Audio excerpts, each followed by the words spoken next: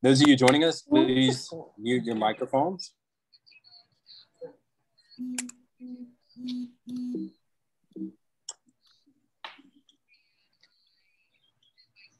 Please mute your microphones.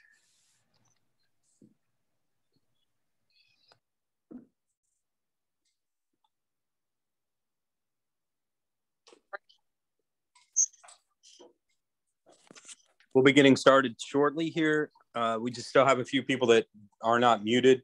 If you could please take a quick look at your microphones, make sure you're muted.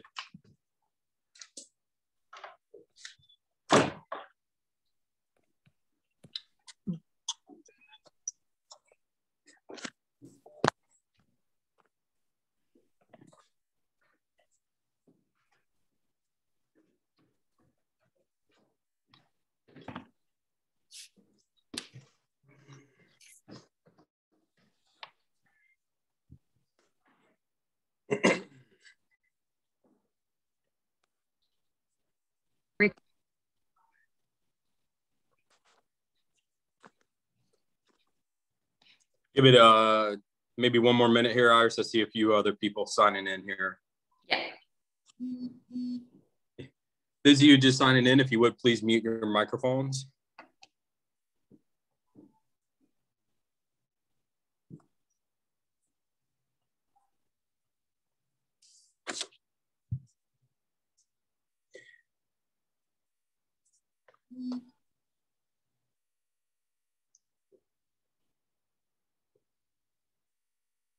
Right.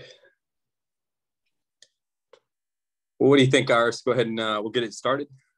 Yes, let's do it. Good evening, everyone. My name is Johnny Kerwin, and I'm the trail administrator for the Washington Rochambeau Revolutionary Route National Historic Trail. We are uh, joined tonight for as part of her monthly lecture series by Dr. Iris de Rode. And uh, just a little bit about Dr.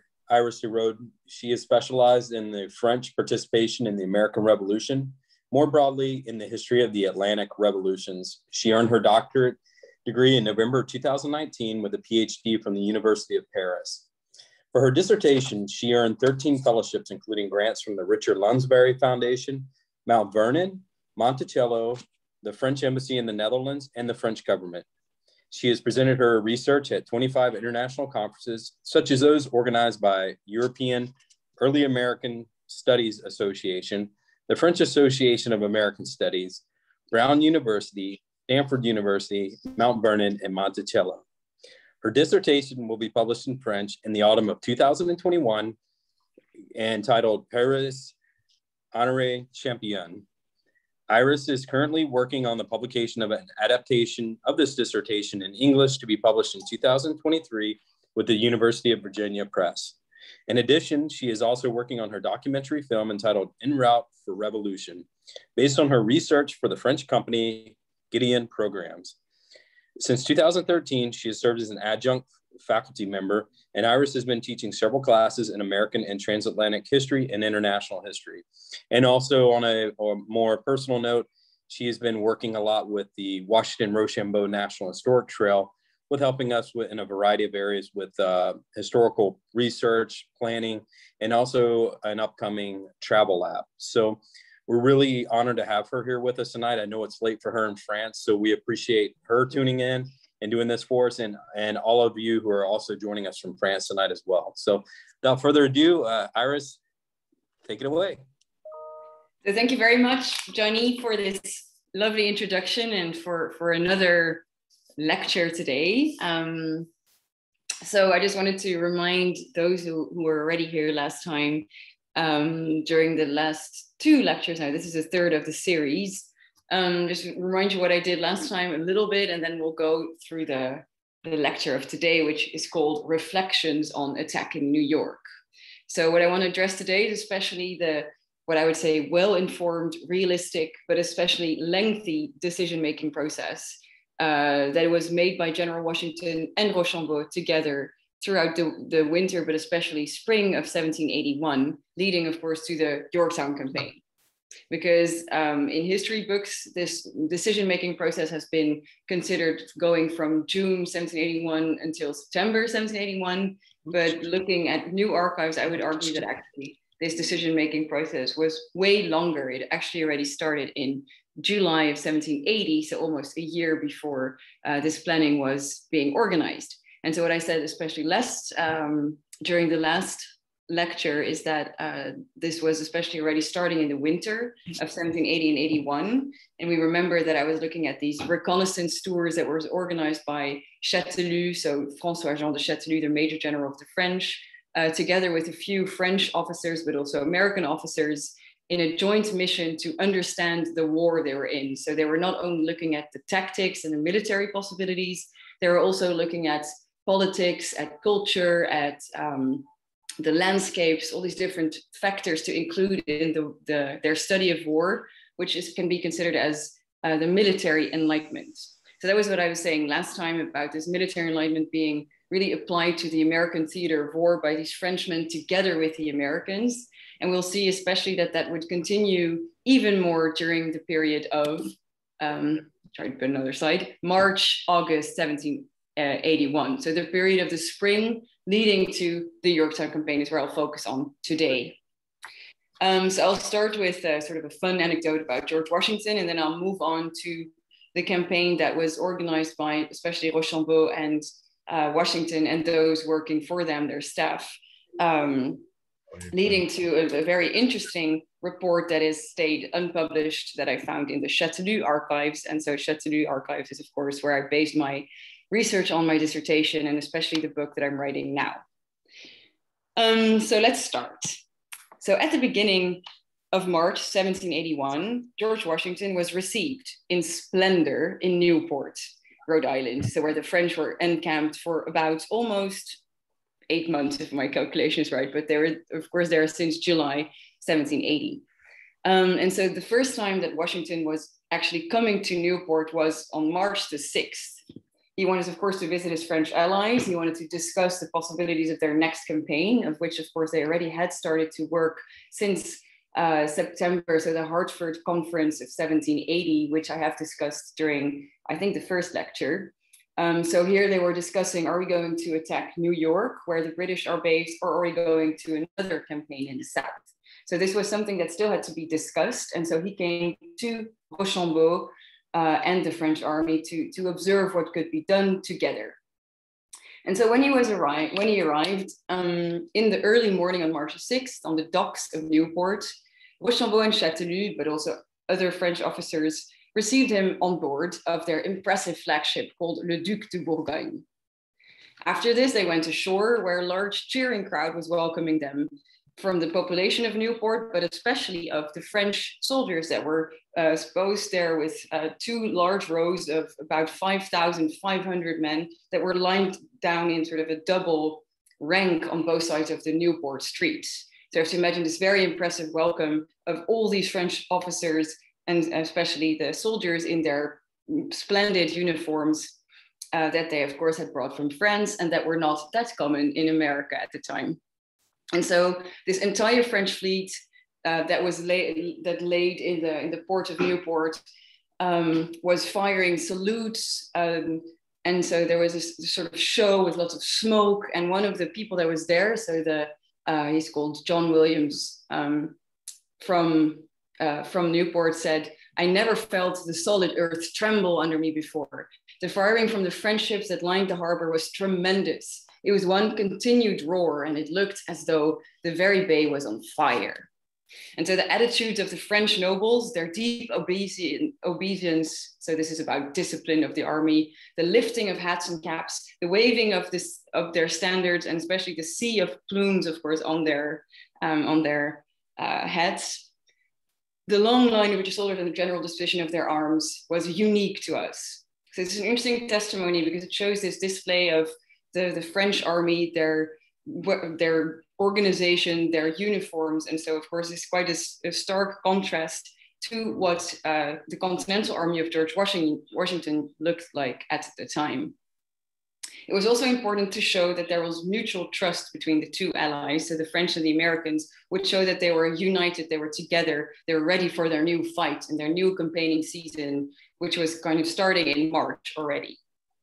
It was also, of course, necessary for the local population to show this alliance to, to be able to work, because, of course, as we remember from the last lecture, there were quite some prejudices circulating against the French, against them being effeminate, effeminate frog eaters, or even being um, sent by the Pope as a Catholic mission. And so after this particular spectacular welcome, uh, the party of Rochambeau and all the officers, and especially George Washington, went to the State House where Washington was received officially. And after that, they went to the Old Vernon House, which you can both see on the slides. Um, so they had a long and beautiful supper here, and then uh, they, they would continue on the dark uh, streets where the whole town was illuminated by uh, candle lights to welcome the French American army again. Um, so just of course, uh, at the same time, during uh, the, the day after, March the 8th, uh, the third day when Washington was there, Chastellux himself was preparing a special dinner. He invited Washington over to his home called the Maudsley House, which is still standing in Newport. And so he would organize this great dinner for him with actually 50 people that were invited, amongst whom uh, Knox, Schuyler, Hamilton, but also Rochambeau and the Viomenil brothers, and local inhabitants of Newport uh, that were mainly merchants and traders, and some of the beautiful women of the town to organize all together this dinner.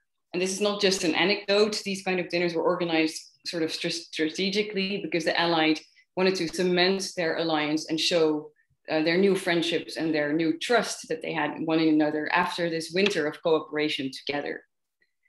Um, and so Chastellux, just this is some information that I have from letters that he sent to his sister. He had the best silver for the occasions, yeah, and he'd actually even brought his silver from France. He had best he had brought the best Bordeaux wine, which was very rare at the time, of course, in the United States. Um, and he was especially wearing his new dark blue jacket with golden epaulets and buttons over his bright red shirt and trousers that his sister had just sent him from Paris. That was made by the same um, same tailor as the, the one of Marquis de Lafayette. So Marquis de Lafayette's tailor had made that for him. So he looked fantastic during this whole dinner. And even across the Atlantic, people would later talk of this splendid dinner organized for George Washington. This was, of course, quite beneficial for Chastellux's reputation to have had Washington at his own table. And of course, beside all these sparkling fun activities, here, by the way, this is the Maudsley House today, which is uh, still quite similar to what it looked like during this dinner. And of course, since we are here in a part and lecture series on the W3R, so the Washington Rochambeau Revolutionary Route, all these buildings still exist. So the State House on the right, and then in the middle, you can see the Vernon, Vernon House of Rochambeau, and on the left, the Maudsley House of Chastellux. Um, but so, of course, these are fun anecdotes because actually the gentlemen were working. They were discussing their next campaign. And so this situation was as follows. You had General Clinton, the British General Clinton, was occupying New York. And then in the south, the Major General Phillips was active there. He had just captured Savannah and Charleston and became a dangerous front. So there were two fronts where the French and Americans had to deal with. And Washington, of course, was still eager, as he had already expressed a few months before during the other conference, the Hartford Conference, um, that he was eager to recapture New York City. However, both Rochambeau and Washington still did not really know how many people they had at their disposal, how many soldiers, how much naval assistance would come, if they would have more financial help. So still, this was a big problem because this monetary aid, and especially the aid of more troops, was crucial because the British were uh, completely outnumbering the French American army. Um, and so they could not make this decision yet of the real attack, but Washington had a request to Rochambeau. He asked him to help uh, the Marquis de Lafayette, who was based in the South, to capture the traitor Benedict Arnold in Virginia, who after his, what he would say, black treachery, served now as a brigadier general in this army of Major General Phillips, who was ravaging, let's say, in the South. And so Lafayette had only a small army and really needed reinforcement. And so Washington requested uh, a fleet of the French with a few soldiers to be brought to where he was at the Chesapeake Bay. And so um, here we can see an engraving of this moment because the French uh, the French sailed away, and so to this English fleet, but the British vice admiral, complicated name to pronounce, Arbuthnot, he sailed faster than the French fleet, and so he arrived a little earlier, creating an advantage for him. And so there was a, a battle, the Battle of Cape Henry, on 16th of March, as you can see on the on the slide too. But unfortunately there was a it was a, a dangerous hard fought battle. However there was no real advantage but most ships were severely damaged. And so uh, the english pulled out of the chesapeake bay and Destouches, that's the french admiral was forced to return to newport and someone who was there de pont so guillaume de Pont, he described that the fight was a sharp one well conducted and reflected credit on the french navy but the object failed, and glory is only a chimera when it does not offer practical results. However, this was not the most the result they had hoped for. They didn't win, but they could actually also observe this Chesapeake Bay that was already on their radar since the beginning of the campaign, where they thought of maybe gonna attack that part of, of the continent. And so Chesapeake Bay and the surrounding lands, um, they could observe that it was very easy to get in with the fleet and block that bay. So this was interesting information that already, of course, Chastellux had all, also already gathered in the winter, but now they had additional intelligence on this very important, or at least would be very important uh, spot. Um, and so, of course, during this battle, Washington had already gone home uh, to, to his own headquarters. Um, and so again, there, the, the problem became again that they didn't have enough men, they didn't have enough of the fleet and nor money. And so they had to wait for reinforcement. They waited for the Congress to, to tell them what they would, could send, but they would especially wait for Versailles, so Louis XVI's court, who would explain to him, uh, to, who would finally have to say what he would send. Um, this long period of waiting became very complicated, of course, for those who were in the war, because it, it just very frustrating, as you can see in lots of letters back and forth, on how complicated it was to just wait but finally, mid-April, uh, La Luzerne, who is on the right of the slide, so that's the ambassador, the French ambassador who served in Philadelphia, he received the news first. Most of the time you can read that in mid-May, uh, Rochambeau received it, but he already received it uh, at the time through a letter of Vergennes, the Minister of Foreign Affairs. And so he announced that the second division, so this is a group of 2,000 soldiers that was supposed to be sent to America from France would not be sent by the French king because he was afraid that in response, the English would also send their army uh, or additional troops and that they would even outnumber them more. So instead, he decided to send money. He sent six million livres uh, for a next uh, delivery, and especially what was most important, he would send De Grasse. So that's the admiral that you can see on the left, who was um, supposed to come with a very large fleet of 20 vessels. And this was extremely important because, of course, the British Navy was blocking lots of parts and was uh, very, um, well, it was like a mighty navy, was, was uh, very dangerous for the French because they didn't have enough ships and the um, Continental Army did not have a fleet. So they really needed desperately this fleet. And he would come, they said, during summer. What he would do is he would come from, uh, from the West Indies have 20 vessels with him, so large warships. And he would come to uh, Washington Rochambeau for a joint operation on land and on sea. However, this uh, information had to stay secret uh, from De Grasse, and uh, I mean, this, the information of De Grasse had to be secret from uh, from Washington and the Continental Army because it, uh, Vergennes, so the minister who wrote this, was afraid that this would leak. But as we will see, in Luzerne, his papers, you can read that he actually asked Chastellux to give the information to Washington. So Chastellux wrote letters to Washington and also even had some secret meetings where he would explain that de Grasse, the fleet, would actually arrive and come to America at aid. Um, but so Luzerne writes to Chastellux uh, in this, this, is an unpublished correspondence that's held in the Chastellux Castle. He says, we now recognize the unsurmountable difficulty of attacking New York another operation would be highly applauded. So he writes this based on the fact that there are way less people coming than they would expect. And then he said, there are some people who believe that we should sacrifice everything for this attack, New York. A much more important number judges this as madness. Um, so he's referring mainly to people in Congress, the people he's saying. He spoke to different delegates from different states, and he says that it's just mad to want to uh, attack New York with the manpower that they have at their disposal. So this is already the beginning of April. And so, based on this new information, Rochambeau wants to talk to Washington, of course. He wants to organize a new conference with him, which will be held uh, in May um, on the 21st and 22nd of May. Um, and so I have to go through the notes. Here we go. So they chose Wethersfield uh, in Connecticut as their meeting point because it was in between their two encampments. And so they met at the still existing Joseph Webb House that we will see later in the slides. But they, they met uh, in May to discuss the new possibilities since finally the news had arrived on uh, the fact that the fleet would arrive and more money and a few uh, people with the fleet. Um, and so in the early morning of this meeting, Washington received a secret letter from Chastellux.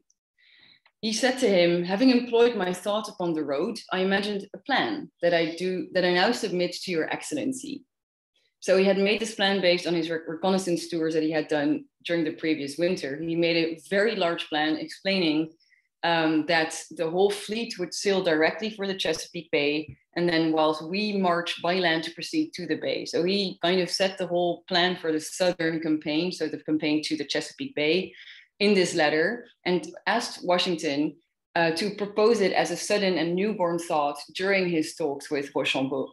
So this is a secret letter that um, that has been published later, but it, has been also kind of a contro controversy because he also burned a few of these letters. He's asking to keep them secret, and they would discuss about these new plans.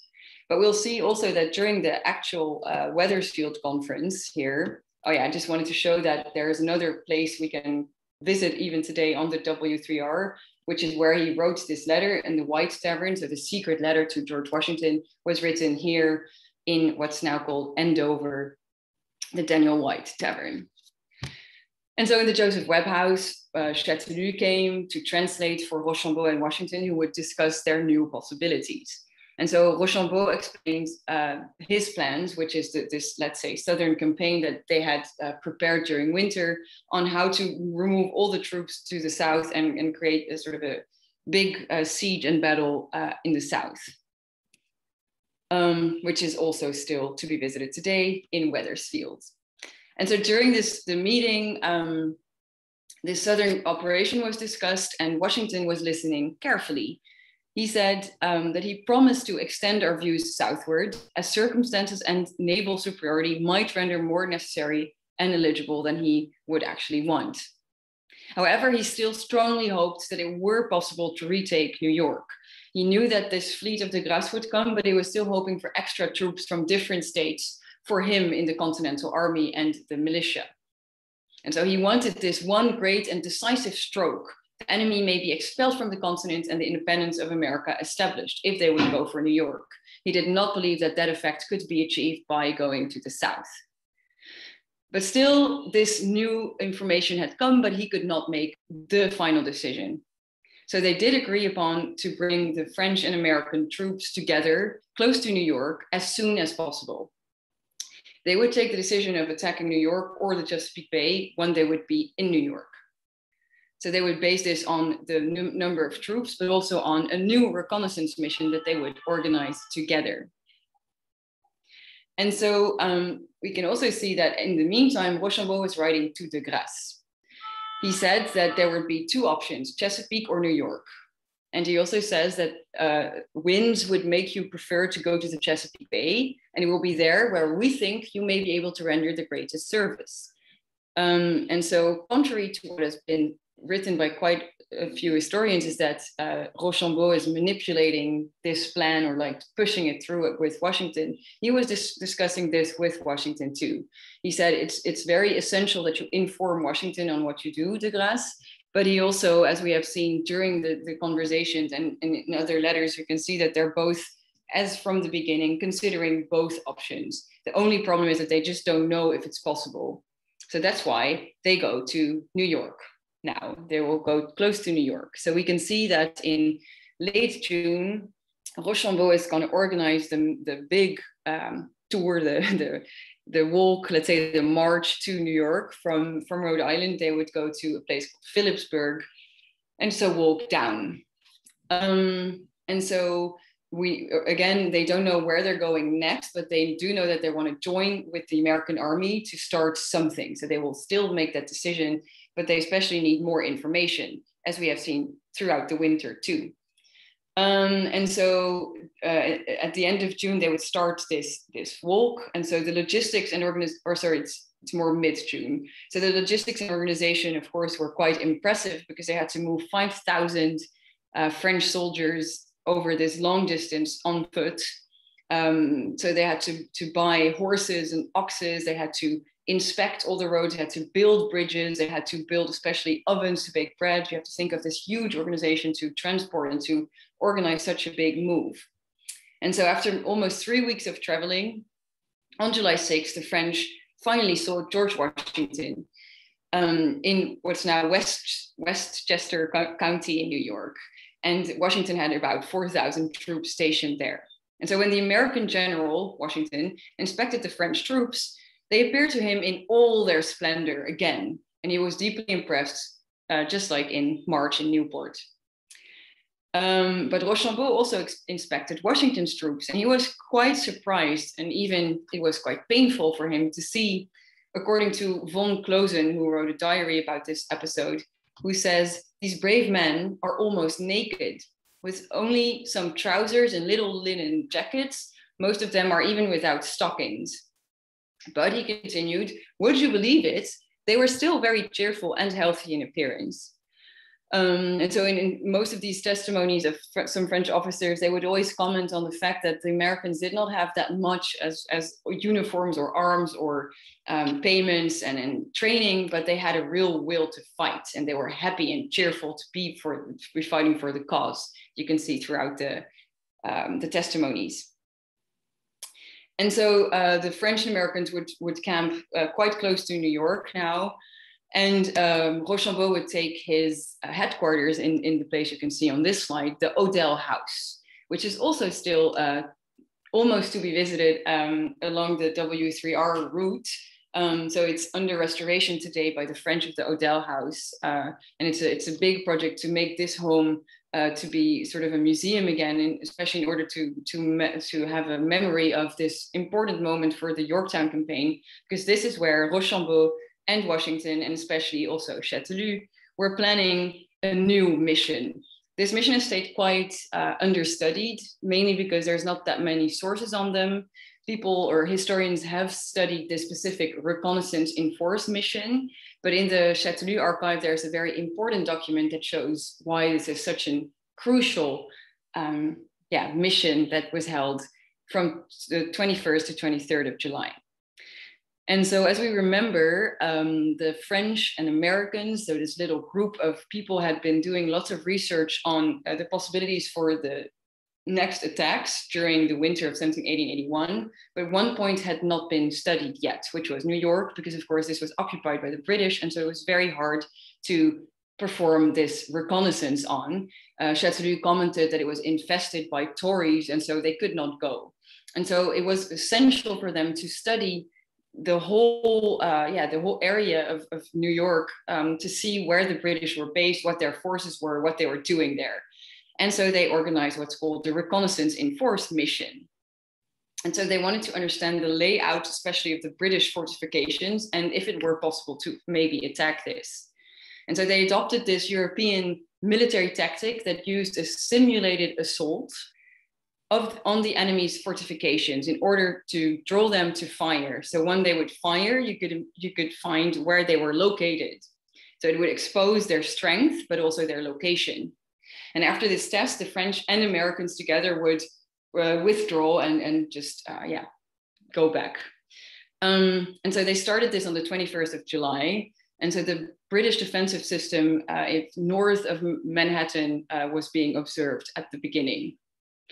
Uh, so Washington and sent 4,000 French and American soldiers together to march towards Manhattan over bad roads and in the pitch black night um, to survey the northern line of the British defenses, which is from the west at Kingsbridge to the east along the Harlem River uh, to Long Island Sound. Um, and these troops were divided in, in uh, four major columns, and so they were all commanded by different, um, different generals. Um, and so the Allied army tested how far they could go. They observed possible crossing and landing sites for the invading force that they could maybe be later. And they especially, of course, looked for vulnerable points in the British defense system. And they watched for their enemies' movements. And so at the break of day, so this was happening during the night. And so during the day, bomb, the British, of course, react. They send their Hessian Jaegers to open fire on the Franco American skirmishers. They also send light dragoons uh, to, to, on, on ferries across the Harlem River to oppose the French and American forces.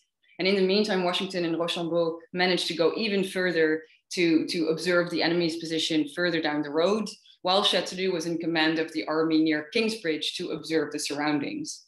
And so this whole action lasted for three days, and uh, the French and American allies were making observations, maps, uh, calculations, and of course they were avoiding the real danger of attacks and actual battle.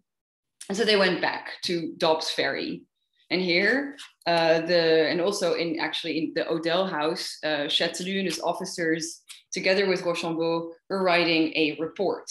And this report uh, has been hidden for almost 250, no, 40 years um, in this Chateau de Chastellux that I, of course, have already discussed. And so this is the document, it's called Réflexion sur l'attaque de New York. Uh, so this is written just after this specific reconnaissance mission. And in it, in about 40 pages, Chastellux writes about every possible attack that was um, to be done, maybe in New York. And so um, he, he says, he talks about what's called the general dispositions of the attack that we could do. And then he would detail all these specific attacks.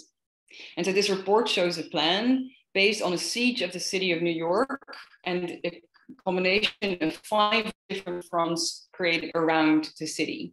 And so it would be, he says, advantage, advent, I can say this word now, uh, uh, it would be an advantage to create the five attacks simultaneously on the northern part of the island of New York, the works of Long Island, and um, those of the peak of Paulus Hook on Staten Island and on the tip of the Sandy Hook.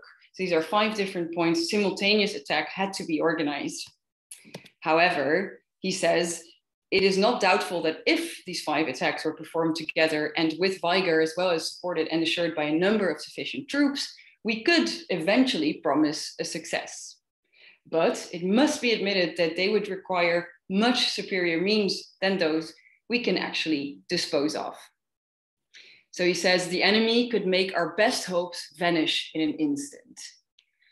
So New York is too hard to attack. It is too dangerous. The French and Americans just don't have enough manpower. So it seemed that New York was invulnerable, and Chastellux explains this in many different pages in great, great detail. And so, of course, this news arrives at Washington. George Washington, of course, was there. He was present during the reconnaissance tour and could make his own conclusions. But of course, he also heard about the conclusions of the French. And so, while listening to this and, and uh, making again his own ideas about it, he wrote in his own diary on August 1st everything would have been in perfect readiness to commence an operation against New York if the states had furnished their quota of men. I could scarce see a ground upon which to continue my preparations against New York. Therefore, I turned my views more seriously than ever before to an operation south. And so he also ordered his superintendent, Robert Morris, uh, to start organizing transportation, payments, and provisions to, for this allied army to, um, to go to organize this new mission. He says, matters having come to a crisis. I was obliged to give up all idea of attacking New York. And Chastellux writes to his sister at the same time, if my lord, so Cornwallis, forgot himself a little in this country, we can rather surely take him or force him to flee by land while losing the biggest part of his troops. So he really believed it could work. Lots of conferences with Washington were needed before deciding on going to Yorktown, for whom I've always served as an interpreter. So we can see here the function of Chastellux as being sort of this liaison officer between Washington and Rochambeau.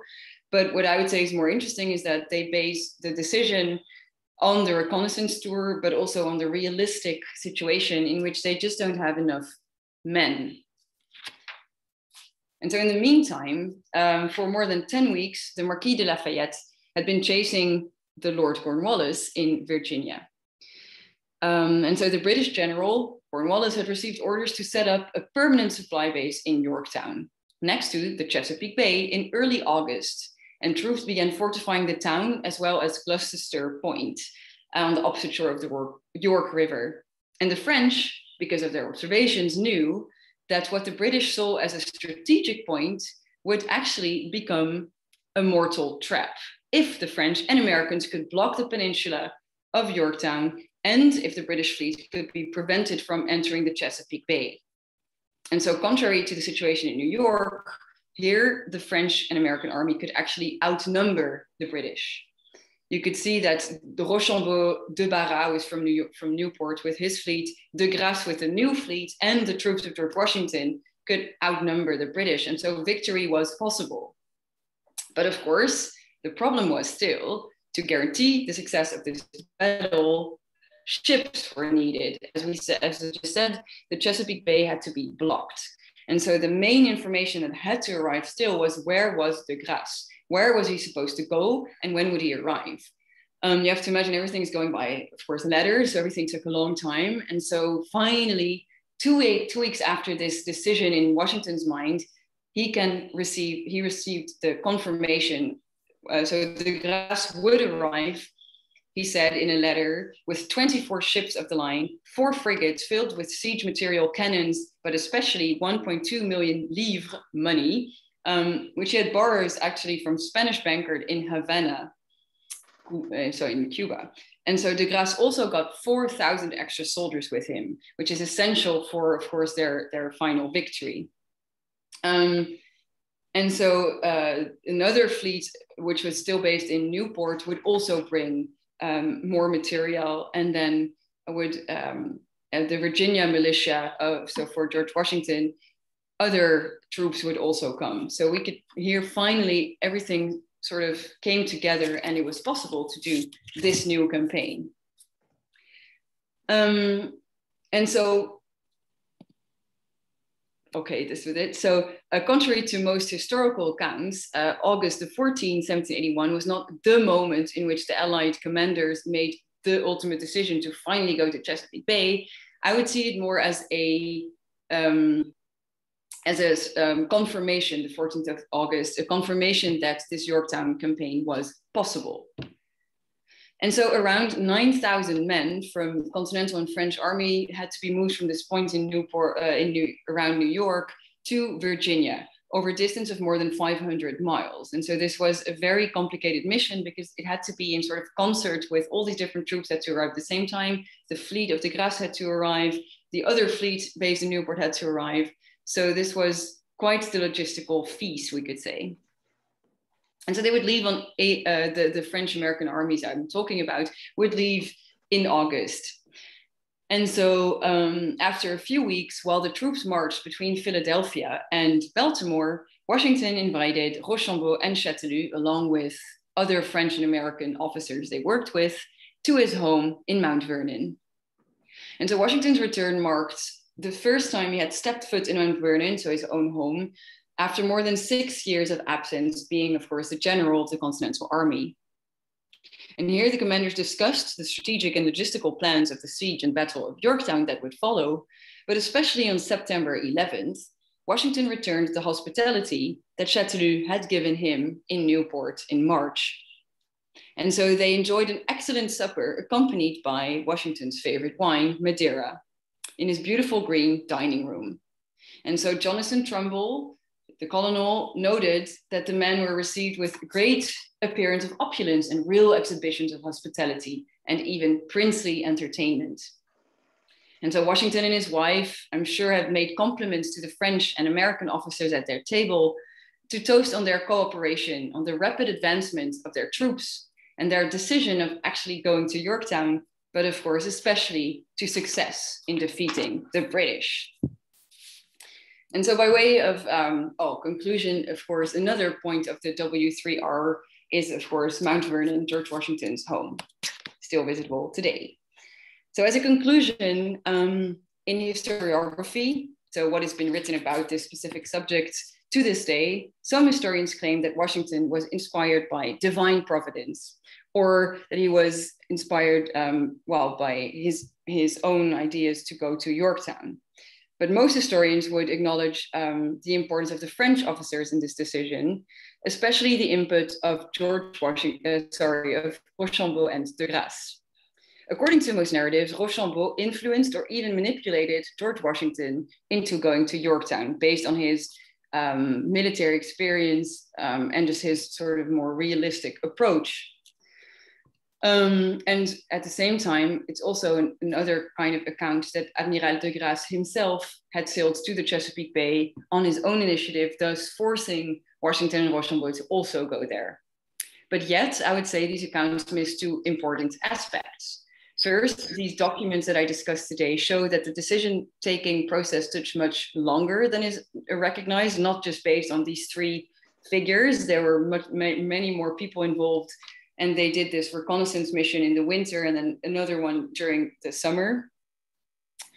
Um, and so that is the first one, but also there are some other people involved, such as La Luzerne and Chastellux, that were uh, very actively involved in this decision-making process. Um, and so I would say especially that it's, it's not an opposition between Washington and Rochambeau, um, based on this new information, we can say that it's more a cooperation from the start. They were both considering the two options, plan A and a plan B. And by observing as much as they could, as gathering intelligence as much as they could, but also just basing themselves on the reality of their situation with a real lack of men. And so they kind of had to improvise uh, on spot on what to do, but they could prepare that very well too. And so there was a plan A and plan B prepared for long months. And so they made a rational and realistic decision. And so I would say Washington is not as stubborn as is often thought, and Rochambeau not that manipulative as, as is often portrayed, but they cooperated uh, on planning the most successful uh, operation or mission uh, with the modest means that they had on hand.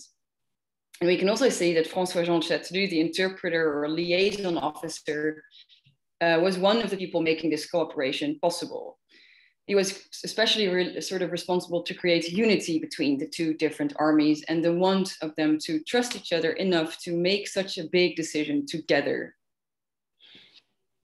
And so that was um, my lecture today, and I would be very happy to to uh, answer your questions, um, especially because, of course, um, I'm making quite some statements based on this new report. So I would be very happy to to discuss that. Thank you very much. Um, so maybe you can or type or just, um, uh, I would be also very happy if, if we can talk just on the, if you can reactivate the microphones and then we can actually have a, uh, a dis discussion would be great, even with images so that I can see you would be even more fun. Um, Iris, um, I had a question. Um, Hi. Hi, Iris. um, that was a great, great, great presentation. Um, Thank you. I, I, was a little confused only because I didn't, I don't think I heard all the parts.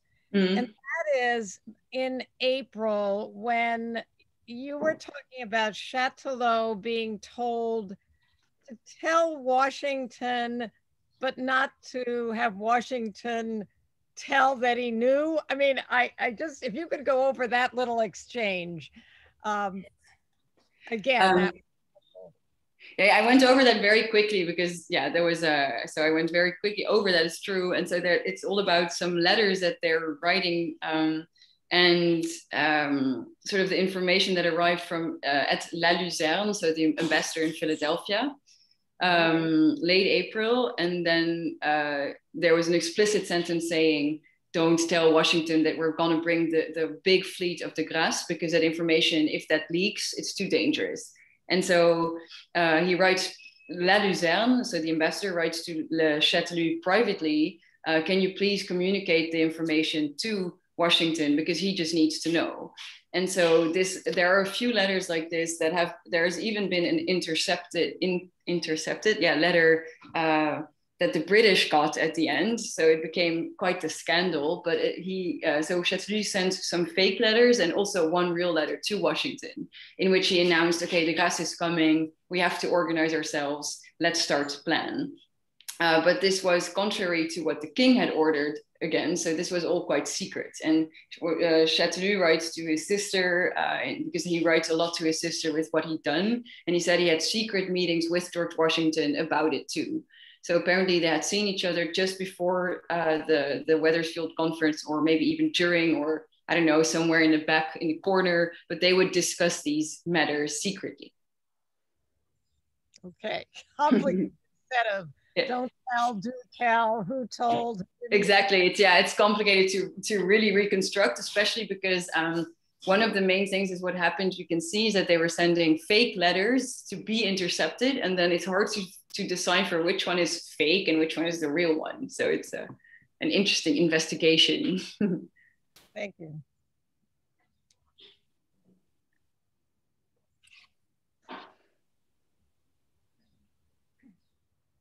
I had my hand up to ask the question, uh, how far ahead of the troops were the uh, um, people from the um, supplies standpoint? Uh, one would think it would be easy for the British to pick up the movement of the troops by the movement of the um, people securing supplies ahead of time and also uh, securing the boats so that they would be available for the troops yes that that's true and it, it, that was one of the main challenges is to uh, but this was mainly so the one where they were transporting everyone to new york so the first leg of the the the route that is today called Washington Rochambeau route, but of course, um, so the route they walked, uh, that was not that secret, but the second phase was supposed to be kept quite secret, especially at the beginning, because everything was about to go as rapid as they could without being stopped by the British. And so there were lots of tricks they would put in place, such as creating fake bread ovens. They would create fake ships, everything to make believe that they would do that. But so the question is, how far ahead were they? And um, there's um, a document that I have studied quite in depth of uh, Mathieu Dumas was the major, no, sorry, the aide de camp, aide de camp of Rochambeau. And he would go about, let's say, a week ad- in advance all the time to prepare everything. So he would prepare the roads, he would prepare the logistics. Um, but it is true that it's always been a bit sort of complicated to understand how the British did not know. And if you start to read the British letters, you can find that they did know that they were on the move, but they just didn't react accordingly. They didn't react quickly enough to stop them.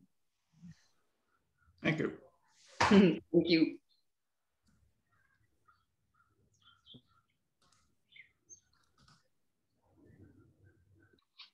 One of the decoys that uh, the uh, the Washington used was to have uh, bread ovens built uh, in Chatham, New Jersey, and it mm. was uh, it was the French army that built those ovens, and they made a big deal out of getting bricks from a long distance away to make it look like they were going to take a, a long time to be there. Mm. And uh, the Washington's army was in Philadelphia by the time the British realized that this was a decoy, and it was too late for them to act.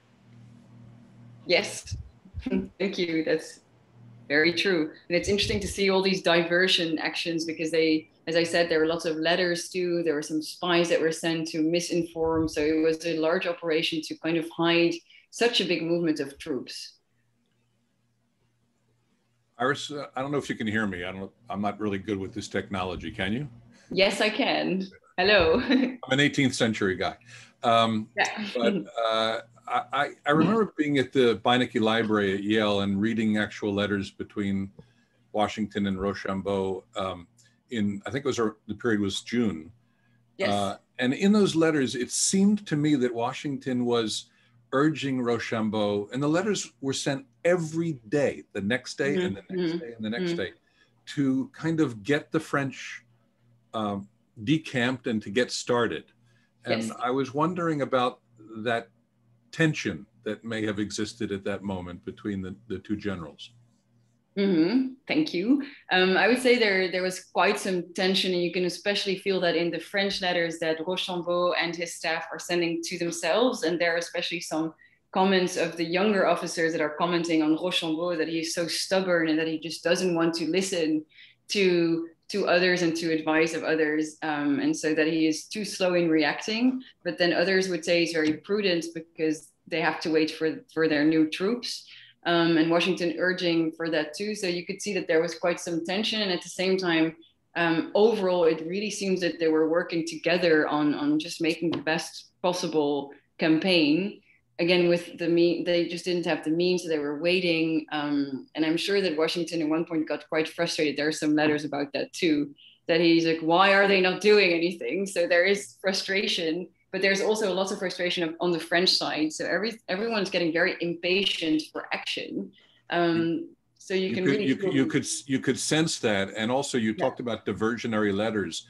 Mm. I noticed in a lot of the letters that I saw uh, at the Beinecke, they mm. Were using the secret coded numbers, and mm. you can actually mm. see the letters that were sent to Rochambeau and how his translator uh, translated the actual amount, the, actual um, the actual secret coding. He, he translated it. Of course, it's in French and it's written mm-hmm. between the lines, but uh, you know they were using coded numbers.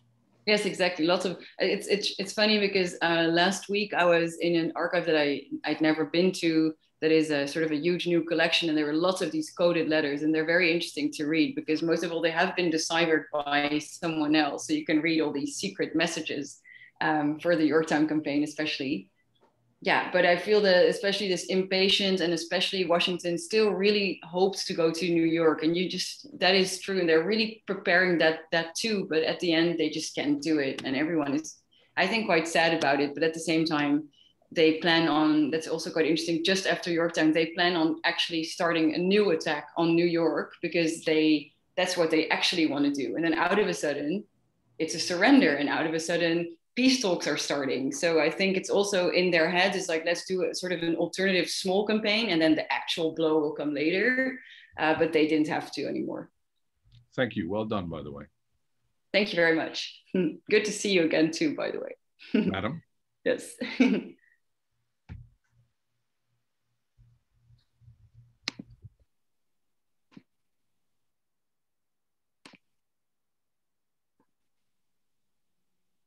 Iris, you have some questions in the chat box. Ah, okay. I didn't see that yet. Um, ah, here we go. Uh, is there anything about the crossing of the Hudson River in the letters? Um, so that's of course very close to the this whole Odell House and the different um, uh, New York.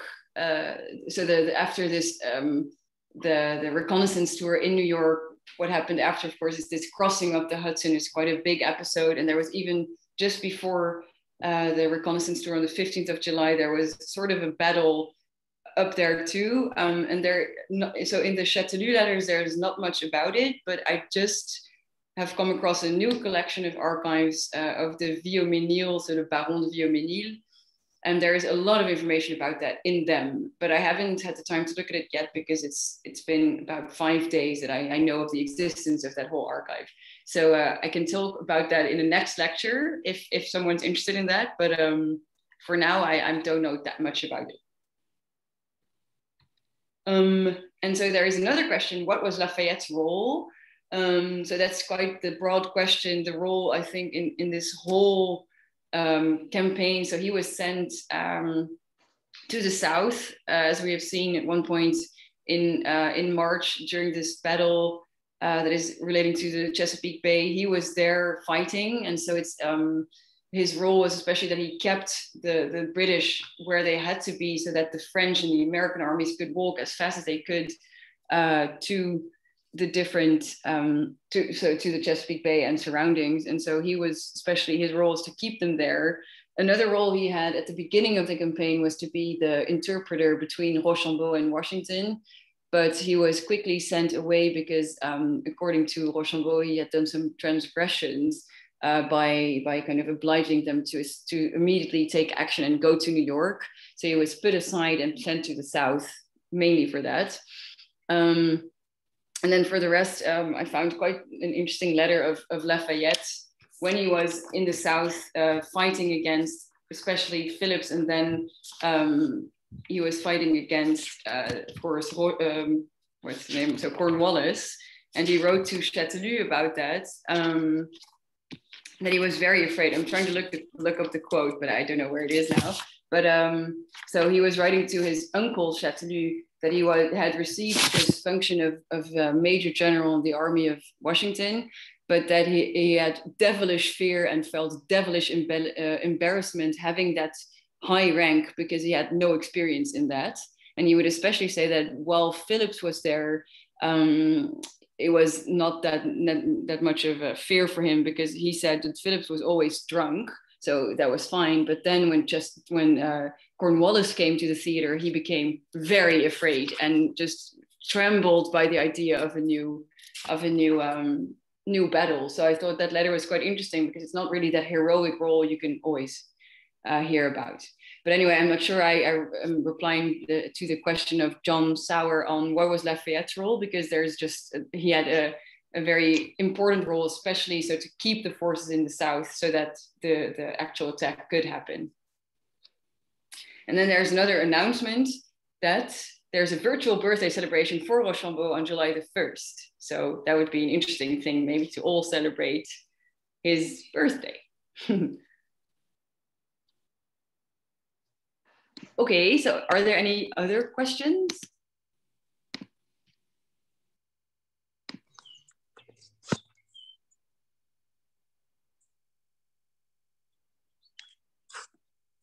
I think so it's pretty quiet here, Iris. Yeah, it's very it's very quiet yeah. again.